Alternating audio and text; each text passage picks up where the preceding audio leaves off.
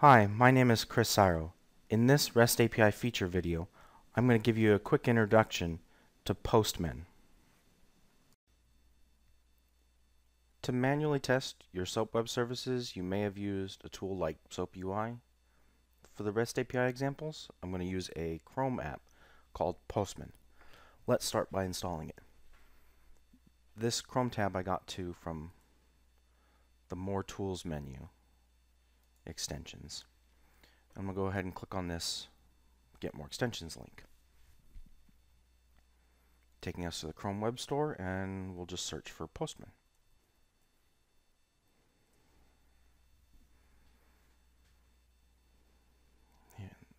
the app's right here, and we will go ahead and install it.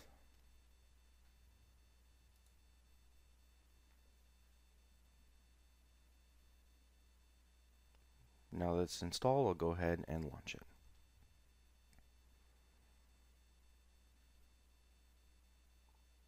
The first thing that I'm going to do is change one setting in Postman to retain headers on clicking links.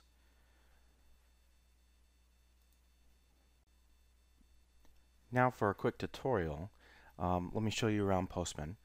We've got the address bar, if you will, uh, here where you can type in the address that you want to call.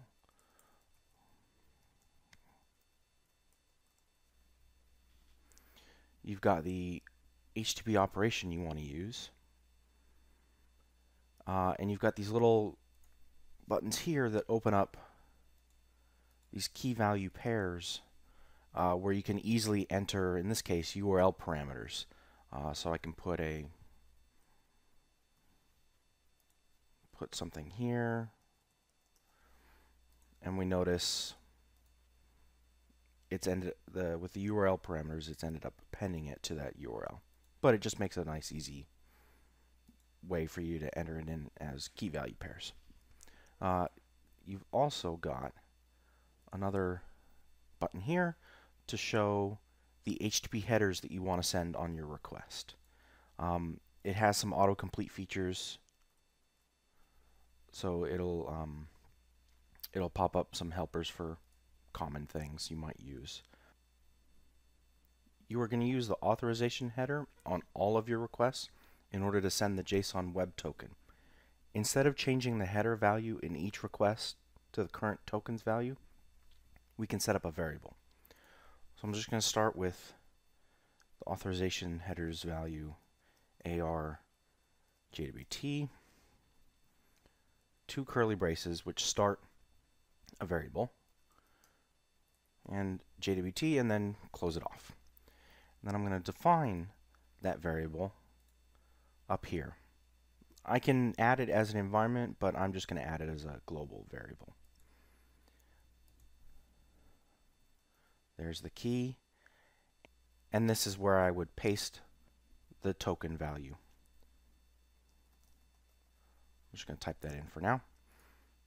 And then whenever you get a new JSON web token, all you have to do is go into the environment section, change this value, and all of your requests will now use that new token value.